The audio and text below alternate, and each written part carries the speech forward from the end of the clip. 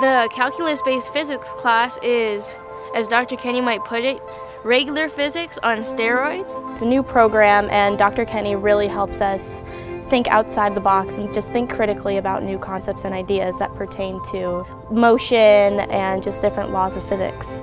There's plenty of opportunities for undergraduate research. There's small class size, personal attention.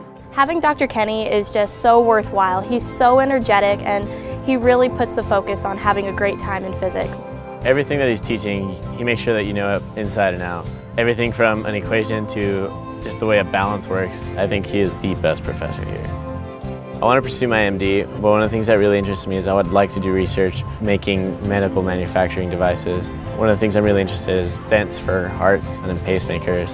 Concordia really helped me grow, really helped me develop a, a strict and very disciplined study ethic that set me up for success. My name is Grace Chong. My name is Stephanie Miller. My name is Nestor Nunez and I'm president of the Physics Club here at Concordia.